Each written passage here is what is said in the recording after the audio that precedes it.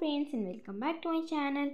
I'm Vaishnavi and today is day 4 of our 10 days pencil topper challenge and today we are going to make a Blackpink pencil topper. So like BTS I have made and Blackpink is also a group. So uh, today I'm taking pink sheet because I didn't have black one because the background is black and the text is pink but in my the background will be pink and the text will be black.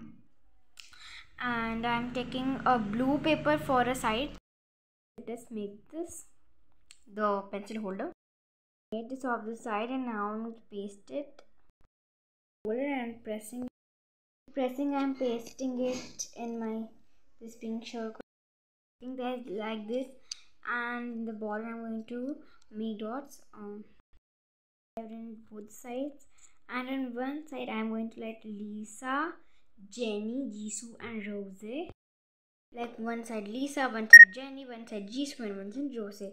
And here I am going to write Blackpink like as it is it has written like the C and the N is opposite sides so uh, side so I'm going to write uh, like in that one way only. But first I'm going to make a box for it. In black in the between and pink the top. And here I have drawn a block and have colored it with black and a small heart here. And my black pen topper is now ready my pencil in it. And friends if you like my topper then please don't forget to like this video share this video with as much as you can. And also don't forget to subscribe to my channel for more challenge and art videos.